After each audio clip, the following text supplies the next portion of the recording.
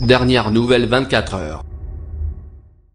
Crédit photo, N le GUIC, FEP, panoramique, N. Le GUIC, FEP, panoramique le Scan Sport, l'ancien international qui a joué contre Henri Michel mais aussi sous ses ordres chez les Bleus se souvient d'un homme attachant, au caractère fort et très sensible. Le Figaro, Alain, saviez-vous qu'Henri Michel combattait une maladie dernièrement, Alain Giresse Oui, j'étais au courant et je savais qu'il n'allait pas très bien mais sa disparition est forcément un choc. On refuse toujours d'accepter ces tristes nouvelles.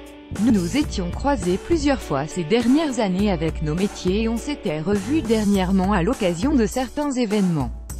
Je prenais toujours beaucoup de plaisir à le revoir car j'étais relié à lui par un lien fort, celui d'un joueur avec son sélectionneur.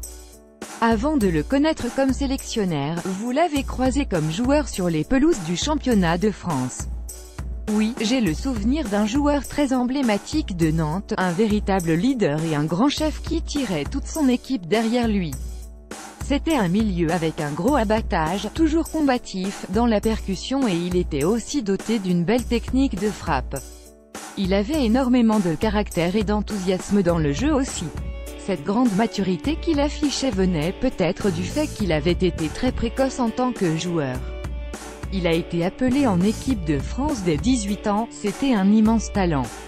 Ensuite, vous l'avez côtoyé en tant que joueur sous sa direction chez les Bleus, on le tutoyait mais ce n'est pas pour cela qu'on lui manquait de respect, entre-temps, je l'avais côtoyé en équipe de France.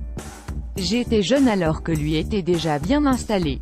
Quand il est passé à la tête des Bleus, on était quelques-uns à avoir joué contre lui sur les terrains. Du coup, il y avait une certaine proximité. On le tutoyait mais ce n'est pas pour cela qu'on lui manquait de respect. On était une équipe assez mûre déjà quand il est arrivé après notre sacre en 1984 à l'Euro. Il avait bien vu cela et avait su s'adapter à nous, comme nous nous sommes adaptés à lui.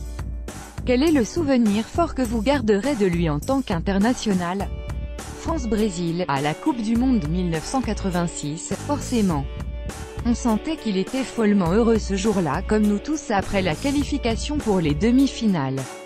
Avant le match, c'était même très fort avec lui car on voulait absolument être à la hauteur de l'événement or nous n'étions pas forcément tout à fait à l'aise en termes d'approche de match. Le Brésil, ce n'était pas rien en face. Il avait beaucoup de sensibilité et ressentait vraiment de l'intérieur les confrontations qui arrivaient.